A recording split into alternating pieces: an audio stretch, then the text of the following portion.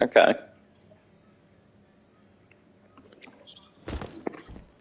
Hmm.